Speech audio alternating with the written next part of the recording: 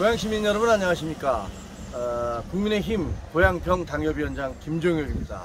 오늘 김종혁이 간다 아, 에서는 또 버스를 타보도록 하겠습니다. 아, 여러분 알다시피 지난 7월 1일날 대곡 소사선이 개통됐습니다. 그래서 여의도 마곡 강남으로 가는 길이 훨씬 빨라졌습니다. 문제는 대곡까지 어떻게 가느냐? 이게 문제인데요. 그래서 고양시와 경기교통공사가 도입한 게 똑버스입니다.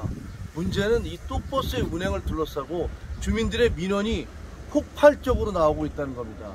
이렇게 긴 시간을 걸려서 도저히 안 되겠다. 다시 셔틀을 돌려달라. 이런 아우성 목소리가 많이 나오고 있습니다. 그래서 과연 이 똑버스의 문제가 뭔지 시간은 얼마나 걸리는지 제가 우리 시도의원, 고덕희 시의원과 이상원 도의원과 함께 직접 타보도록 하겠습니다. 5일 그리고 현재 시간은 7시 38분입니다. 그래서 아, 말씀드린 대로 이상원 도의원 그리고 고덕희 시의원과 제가 지금부터 대곡역까지 가는 똑탑 버스를 타보려고 하는데요. 그래서 이게 똑탑 버스를 타려면 먼저 앱을 깔아야 됩니다. 플레이스토어에 가서 똑타라고 되어 있는 앱을 다운 받으면 됩니다. 저는 다운 받아 왔습니다. 그리고 다운 받은 다음에 거기서 본인의 신용카드를 연계시키면 그러면 그 카드를 가지고 탈 수 있는 건데요. 좀 복잡하긴 합니다. 타를 누르면 아, 이렇게 노선 이용하기 라고 나옵니다. 노선 이용하기를 누르면요. 자 식사동 대곡역까지 갈 수 있다. 이용 가능. 제가 이용 가능 누르겠습니다. 그 다음에 자 식사동 대곡역에서 탑승을 하겠다. 이렇게 하고요. 그 다음에 하차를 밑으로 내려서 하차는 대곡역에서 하겠다. 이렇게 합니다. 그 다음에 이제 호출하기를 시작해야겠죠? 호출하기. 이 호출하기를 누릅니다.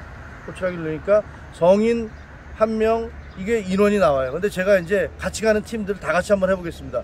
우리 성인이 하나 둘 셋 넷. 우리 성인이 다섯 명이네. 성인만 다섯 명입니다. 그래서 다섯 명을 눌렀습니다. 다음. 자 주변의 차량을 찾아볼게요. 5분 후 탑승. 이렇게 왔습니다. 5분 후에 8시 15 10 그리고 5분 후에 올 것이고 8시 11분에 목적지에 도착한다. 5분이면 7시 45분. 그리고 11시 11분이니까 15분에다가 11분이니까 26분 걸리는 거네요. 그러니까 이 얘기는 양일 초등학교 앞에 있는 이 종점에서부터 그 대곡역까지 26분이 걸린다. 이런 얘기입니다. 이게 과거에 셔틀 때는 한 15분이면 갔거든요. 그러니까 이제 주민들이 굉장히 불편해 하시는 거죠. 왜 이렇게 오래 걸리냐. 이런 얘기인데 저희가 한번 타보도록 하겠습니다. 아, 정말 어느 정도 편한지 혹은 불편한지 가보시죠. 네, 네 했어요. 다 했어요. 아, 5일 아, 5일 또 여기 맞고 5일 오기 하면 또 어디에요? 참외. 세 번째 정류장에서 한 분이 타시려고 하다가 예약 버스라는 기사님 말을 듣고 그냥 내렸습니다. 아직 이제 홍보가 제대로 안 돼서 그런 일이 벌어지고 있는 거거든요. 저 앞에 계신 분도 어, 그 앱을 미리 깔고 갈, 그갈 곳을 예약을 해야 되는데 그게 안 돼서 올라서서 지금 다시 앱을 깔고 계신 것 같습니다. 좀 더 많은 홍보가 필요할 것 같습니다. 과거의 셔틀과 다른 점은 셔틀은 지금 고향 IC로 그냥 빠져서 거기서 한 3, 4분이면 도착을 했거든요. 근데 이거는 이제 주교 사거리로 와서 돌아가고 있기 때문에 시간이 더 걸리는 것 같습니다.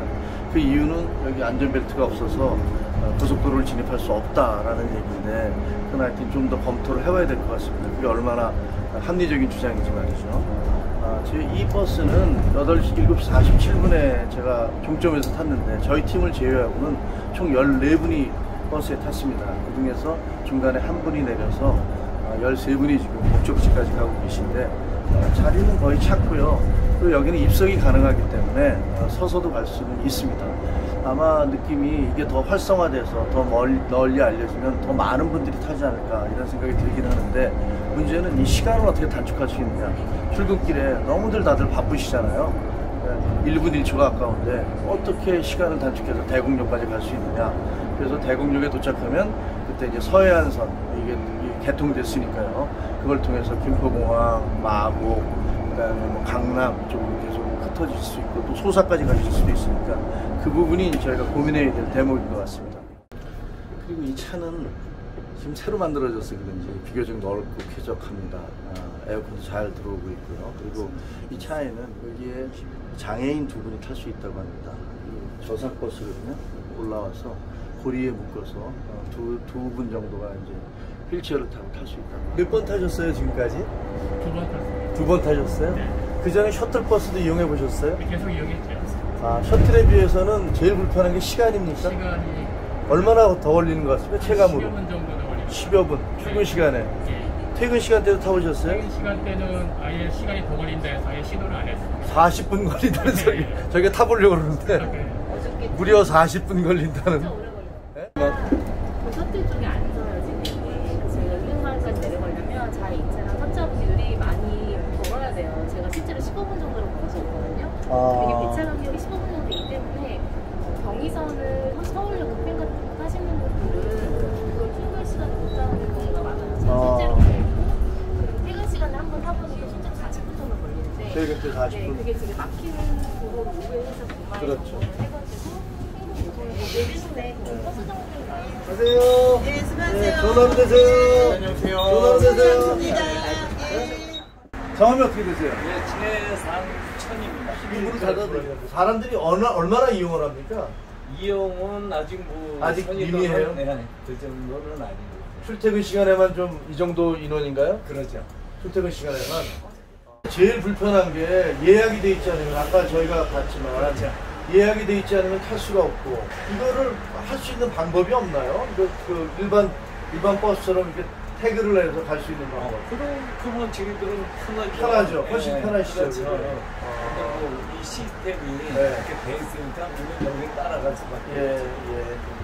예. 여기서 그 탈 때는 그렇고 갈 때가 훨씬 더 걸린다 그러더라고요. 이거. 아 퇴근 시간에는 아무래도 우리가 백석을 이렇게 거쳐서 근데 백석에 타는 사람이 있어요? 있죠. 있긴 있어요? 몇 명이나 있습니까? 뭐 대중은 없는데 그렇게 많지는 않아요. 많지는 네. 않고. 근데 그 만약에 백석을 들리지 않고 고속도로를 타, 타서 가면 그럼 훨씬 빠르겠네요. 저희가 그렇게는 갈 수가 없죠. 그러니까 이게 벨트가 없어서 네. 안전 벨트가 없어서 뭐 규정을 어길 수는 없으니까. 그렇죠. 규정을 바꿔주기 전에. 어, 그렇군요. 알겠습니다. 고맙습니다. 가는 시간에 걸리는 시간이 한 25분 어, 그런 정도인 것 같고 돌아오는 시간은 지금은 이제 거의 사람이 한 명도 타지 않았기 때문에 배- 그 이마트 앞으로 해서 백마역을 통해서 왔는데도 그렇게 시간이 별로 걸리지 않았습니다. 뭐 갈 때나 올 때나 별로 시간의 차이가 없는데 그런데 퇴근 시간대는 이게 굉장히 막힌다고 합니다. 그래서 그 부분을 어떻게 개선할 수 있을지 여기에 대한 고민이 필요할 것 같고요. 그 다음에 가는데 걸리는 시간, 가는데 걸리는 시간 25분 이것을 어떻게 노선을 바꿔서 어, 줄일 수 있을까? 이 부분에 대해서 고민이 좀 필요해 보입니다. 아, 셔틀 때는 바로 그 고향 IC를 통해서 갔기 때문에 어, 한 5분 정도, 어, 5, 6분 정도 시간이 단축됐던 것 같은데 근데 이제 거기는 어, 돈을 주민들이 또 돈을 냈던 거잖아요. 그리고 환승이 되지 않는 또 그런 약점도 있어서 어, 양쪽의 장점과 단점들을 어떻게 이게 그 중에서 좋은 것들을 추려내서 주민들에게 어, 편리함을 제공해 드릴 수 있을지 이 부분들을 어, 고민해 봐야 될 것 같습니다. 어, 이상원 도의원하고 고덕규 시의원이 오늘 같이 주민들하고 얘기도 하면서 어, 식사동 내에서 어떤 문제를 해결해야 될지 함께 고민해 봤습니다. 고맙습니다.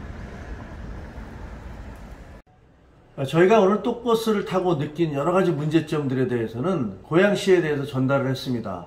아, 고양시 관계자는 아, 그렇지 않아도 시민들의 민원이 폭주를 하고 있어서 이런 문제들에 대해서 월요일 날 어, 회의를 해서 대책을 마련하겠다 이렇게 얘기를 했습니다.